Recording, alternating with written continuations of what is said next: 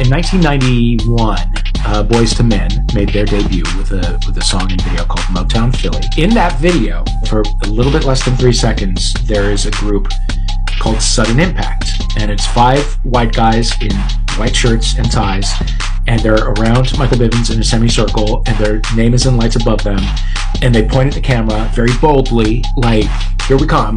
We are Sudden Impact." And that's all that ever happened. In the moment, I wondered what happened to Seth? Like, when's that album coming? And it never did. I'd always wondered what the story was because I knew there was a story.